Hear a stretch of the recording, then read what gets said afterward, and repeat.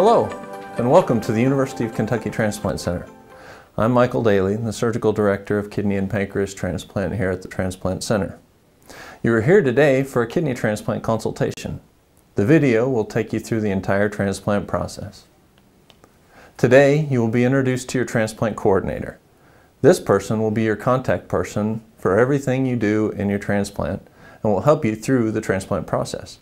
Throughout your transplant experience, you may come in contact with many of the transplant team members, including but not limited to our transplant surgeons, advanced practice providers, nephrologists, coordinators, pharmacists, dietitians, social workers, and financial counselors. This multidisciplinary team meets once a week to discuss every patient that comes through clinic, any concerns or issues that may arise during the evaluation process, and to determine your candidacy for transplant. You will be thoroughly evaluated for candidacy for transplant. The United Network for Organ Sharing has specific criteria defining who may and may not be listed for kidney and kidney pancreas transplant, which we will review with you. We regularly review the candidate selection criteria for our program to be sure it is up to date and with current best practice. There may be health-related issues that would make it unsafe to perform a transplant. We hope that none of these apply to you. However, if they do, we will be discussing them with you personally during your appointment. These issues may include medical, social, or financial concerns. In some cases, patients may choose that transplant is not for them, or the multidisciplinary team may decide that they are not a candidate for transplant or the patient may still be working through the evaluation phase while their kidney is failing. In these cases, there are alternative therapies to transplant. For those experiencing kidney failure, your nephrologist may treat you with hemodialysis or peritoneal dialysis. While this is ongoing, it will be important to remain in the best physical shape possible, staying active and working with your doctors to manage any chronic medical conditions, such as diabetes, hypertension, and obesity. After your initial clinic visit, the Transplant Multidisciplinary Committee will meet to discuss if you qualify to continue with the evaluation testing phase of the process. Sometimes dialysis is a better, safer treatment than transplant. This is often the case when patients have other health problems or if they cannot care for themselves at home. If it is felt that you are not a candidate at this time, your coordinator will send you a letter in the mail explaining why you're not a candidate. You will also get a phone call and have the opportunity to have your questions answered. Sometimes patients may need to meet a certain goal to decrease surgical risk and increase the chances of a positive outcome prior to starting the evaluation phase. If this is the case, you will receive a letter in the mail that explains what goals must be met within the next year to move forward to the evaluation phase. Your referral is open for one year from today's visit. If you do not complete the evaluation phase within that year, you will need to be re-referred so that your medical information can be updated. If the multidisciplinary committee decides that you qualify for the evaluation phase of the process, we will begin your testing and consultations. The evaluation phase will tell our team if you are a transplant candidate. During the evaluation process, you will meet with many team members. You will have a social work evaluation. You need to bring your support person to this appointment. The social worker will need to discuss the caregiver responsibilities and obtain a verbal consent from your support person in order for you to be cleared. You will also talk with our dietitian, financial counselor, and pharmacist. It is your responsibility to send in your general health screenings that are performed by your primary care doctor, referring doctor, or dialysis center. These items include mammogram and pap smear for women, prostate cancer screening for men, and colonoscopy if you are over 50 years old. You will also need a pneumonia vaccine. Your coordinator will provide you with a list of items that you will be required to submit as part of your evaluation. We will schedule the remainder of your testing in our center, unless you indicate a desire to have these tests performed closer to home. Any testing that you request to be performed locally will need to be ordered by your local doctor. We will provide you with a list of required testing and billing letter. However, you will be responsible for getting the results to your coordinator once the testing has been completed. Testing will be ordered to check your major organs and systems. It is important that we make sure that your other major organs are healthy and that you are free of infections and cancer. We will evaluate your lungs with a chest x-ray and possibly a breathing test. We will perform a cardiac stress test and echocardiogram to evaluate your heart. Sometimes we may need to consult a cardiologist. We will do blood flow testing, which may include an abdomen and pelvic CT scan, ultrasound of neck arteries, and ultrasound of leg arteries. We will also perform blood tests to check your kidneys, liver, and immune system. Depending on your health history, we may need to add more tests or consult with a specialist. Please let your coordinator know if you have had any of these tests performed in the past year. We may be able to use those results and not repeat the testing. Included in the blood work that will be performed will be a drug and nicotine screen. We may not move forward with your evaluation if either of these tests is positive for a non-prescribed drug.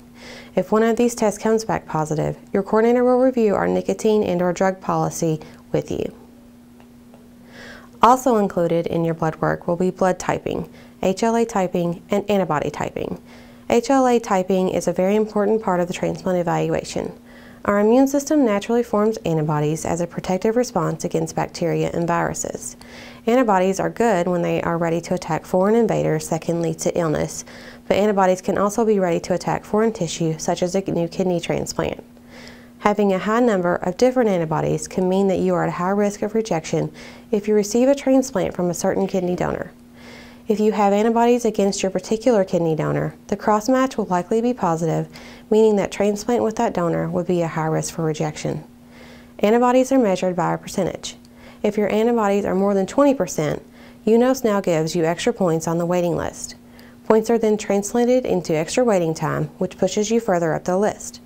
If your antibodies are 99%, you will have regional priority, and if they are 100%, you will have national priority. Once you have completed all requested testing and consults and have turned in your primary care items, your case will be discussed in our weekly selection committee. Our multidisciplinary committee will discuss all of your evaluation results. There are three possible outcomes from this discussion. One, you are a candidate for transplant, which means you will move on to the listing phase. Two, you are not a candidate for transplant at this time, in which case your coordinator will contact you to inform you and will mail you a letter with the committee decision. Three, you need more tests or a visit with a specialist, and your coordinator will notify you of our concern and schedule these items for you. Once the committee decides that you are a candidate for transplant, you have two possible options for transplant, live donation or deceased donation. Both require that you be placed on the waiting list. When you are on the waiting list, it is important that the transplant center can get in touch with you at a moment's notice. You must provide us with correct phone numbers for yourself and as many family members or friends that you can provide. If you receive an organ offer and cannot be reached, you will be skipped and we will have to discuss your eligibility to remain on the waiting list in our multidisciplinary committee. It is also important that you update your coordinator with any changes in your health. If you are sick, it is important to tell your coordinator as a transplant may not be a safe option until the issue is resolved. This includes hospitalization, blood transfusion, a foot ulcer, or any health issue. If you change your phone number or address, you need to let the coordinator know, as this can affect our ability to notify you of important appointments or transplant opportunities. It is also important to notify us of changes in your insurance. If you do not notify us about insurance changes and come in for transplant, you could potentially be required to pay out of pocket for the transplant. If in doubt, call your coordinator. As a transplant patient, you have the right to be listed at as many centers as you would like. This may increase your chance of receiving a deceased donor transplant. It is only a benefit, however, to list at multiple centers that are in separate local areas.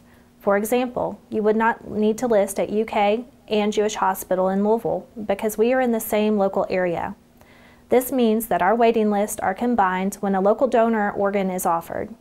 You may benefit by going to another area, such as the Cincinnati area, Tennessee, or Indiana. Please keep in mind that if you decide to be listed at multiple centers, you will be required to go through the evaluation process at each center and keep up with each center's requirements for listing. One major reason that patients usually decide to pursue multiple listing is being highly sensitized or having high percentage of antibodies. If your antibodies are above 20%, your coordinator will discuss this with you and may suggest multiple listing at another center. Some centers offer something called desensitization for patients that have a lot of antibodies. Due to the fact that desensitization increases the risk of rejection, we do not perform this procedure here at UK. Furthermore, if you choose to go through desensitization at another center, it may impact your listing with us. Please notify your coordinator.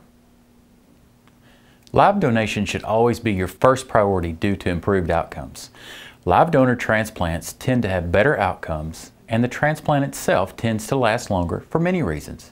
Some of those reasons come from the fact that 1. A live donor has to be very healthy and have virtually no risks of kidney disease later in life. 2. The transplant can be performed once the donor is approved, which decreases your waiting time and will mean that you are likely in better health for transplant.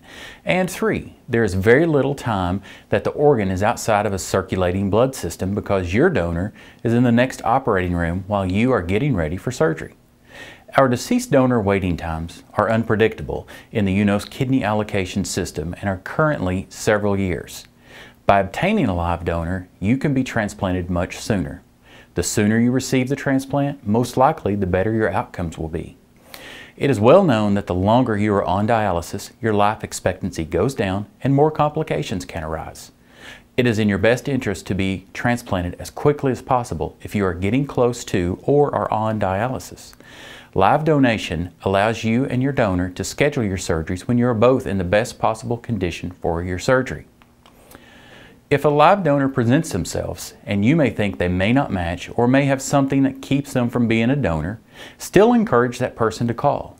If it's a matching issue, we can discuss with them if they would be interested in the paired exchange program. In this program, we match patients who have live donors approved that do not match them to others in the same situation. This is a way of still getting the benefit of a live donor even if your donor doesn't match you. Never rule out a potential living donor on your own. This can be a complicated process. Always have them call. As mentioned, a living donor should be everyone's first priority. If a live donor transplant is not a possibility, the backup plan is the deceased donor waiting list.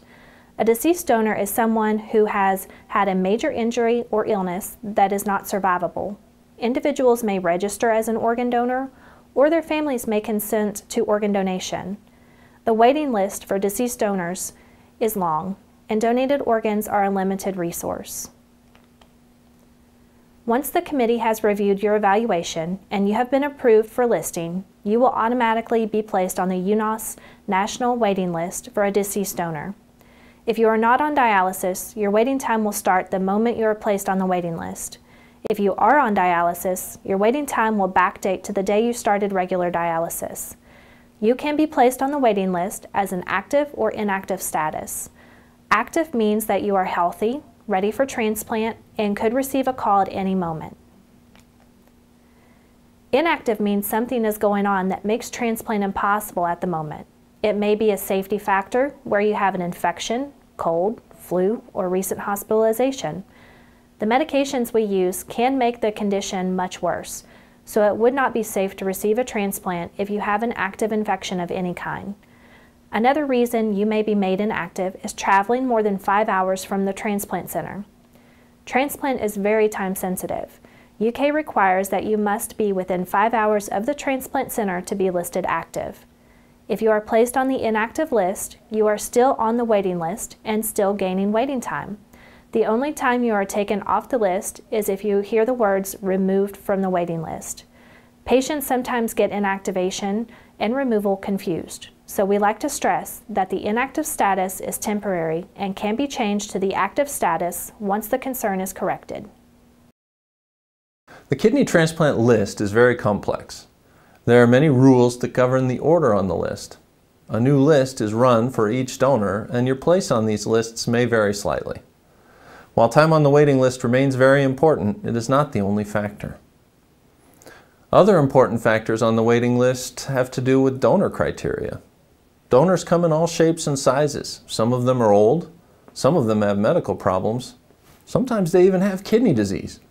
We will be evaluating each of these donors' kidneys for suitability for transplant. Kidney function declines with age, when a donor is particularly old, it may not be reasonable to use their kidneys to transplant a younger person. One of the questions we will be discussing today is whether you would be willing to accept the kidney from an older donor.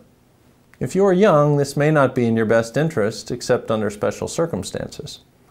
If you are older, this may allow you to cut in line in front of some younger people and save you some time to transplant. We will only use these older donors if we feel the kidney will last long enough to help you out. Sometimes, these donors have engaged in behaviors that increase the risk of them becoming infected. We worry these infections could be transferred with the transplanted kidney. Fortunately, our ability to detect these infections, such as HIV or hepatitis C, has gotten very good. We can now find very small amounts of these infections in the donor blood, if they're even present. Generally, what this means is that if the donor has been in the hospital for more than several days, we can usually find these viruses if they are present. There remains, however, a very small risk of transmitting these viruses. Because of that, we will only offer these organs to patients who are willing to consider this small risk. The risk is generally considered to be much less than the risk of dying on dialysis, so I encourage you to consider them. We will be able to discuss this with you at length if you are interested in learning more. If you are receiving a live donor transplant, you will come to the transplant clinic one week before your scheduled surgery date. You will meet with the surgeon, have a final cross match performed, and go to a pre-op anesthesia appointment. The night before your surgery, the operating room staff will call you with instruction on what time you need to arrive the following morning for your surgery. The deceased donor transplant process is very different. If you are active on the UNOS National Deceased Donor Waiting List, you could receive a call anytime, day or night. When that call comes, a coordinator will ask you some questions over the phone to make sure there are no major contraindications to transplant. If everything sounds okay, the coordinator will instruct you to come to UK Hospital where you will be sent to a hospital room. At this time, it is important to have your blood drawn as soon as possible. This blood will be used to perform the cross match. The cross match tells us if you match the donor. If you do not match, we would have to send you home because you would reject the organ. Sometimes we call two patients for one organ in case the first person in line for the transplant does not match. We will always inform you when we call if you are going to be the backup patient, which means there is at least one person in front of you for this transplant. If you match, are the first person on the list for the transplant, and the organ is in good condition, you will be taken to the operating room. If the organ is not in good condition, the transplant will be canceled. This can happen at any time up until the transplant is complete. Once the surgery is finished, you will wake up in the recovery room and then be transferred to the transplant floor. If there are complications, or if you receive a kidney and pancreas transplant, you will go to the ICU to be monitored more closely before moving to the transplant floor. Most patients that receive a kidney-only transplant are in the hospital for an average of four to five days. During this time, you will be receiving a large dose of immunosuppression medication, which means that you are at high risk for infection. While you are in the hospital, the entire team will be teaching you how to take care of yourself, take your medications, prevent infections, monitor for cancers, and other important ways to care for your transplant. Once it is deemed safe, you will be discharged to your home. Now comes the good part, the transplant surgery itself. If you've made it this far, it's because you've been evaluated and discussed, you have been listed, you have received an acceptable kidney donor offer and come into the hospital, you are not currently ill, and you have a compatible cross match. Now that seems like a lot, you're right. It's pretty tricky to get this far, but if you do, it's time for surgery. There's generally one more opportunity for you to ask your surgeon any last minute questions. Because of confidentiality laws, we may not be able to tell you everything about your donor. We will tell you what we can. Before surgery, you will be taken to the preoperative holding area where you will meet with your anesthesiologist. When an operating room is available, they will take you to it and put you to sleep.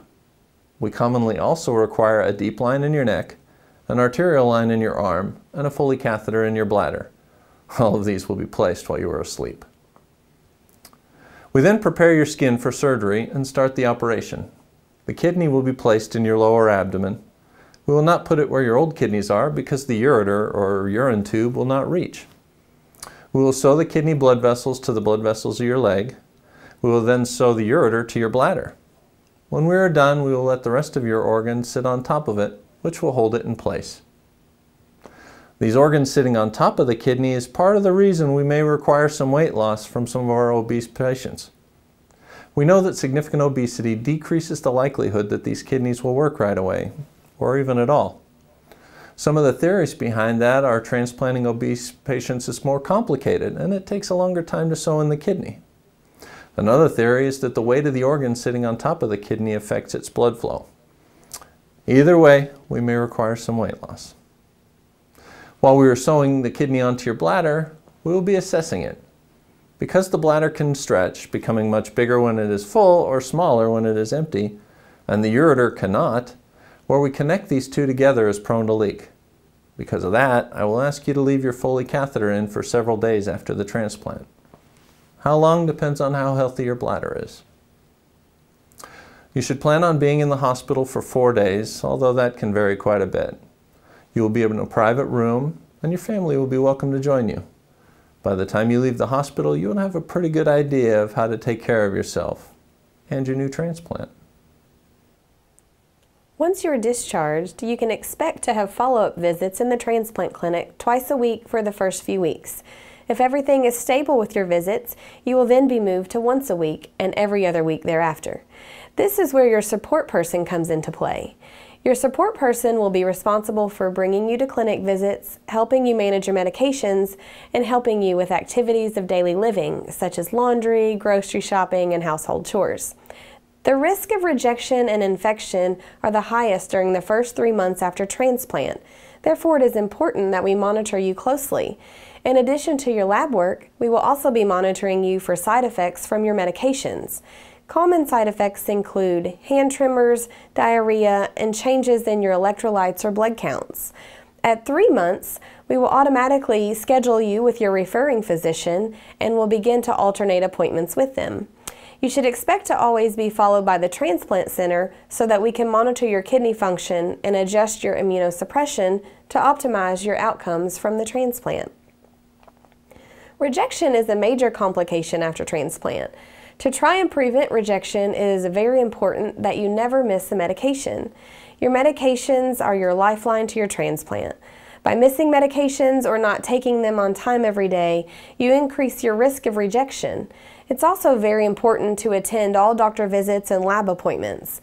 With a transplant, we have lowered your immune system. This means that your body may not show significant signs of infection or rejection until the process is very advanced.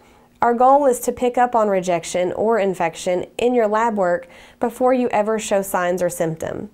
If you do not have your labs drawn or come to clinic as ordered, you are putting yourself at an increased risk of complication. Rejection can be acute or chronic. Acute rejection happens suddenly and often is not associated with symptoms. It is commonly found on regularly scheduled lab work and can often be treated effectively if caught early. Chronic rejection is a gradual increase in your creatinine over time.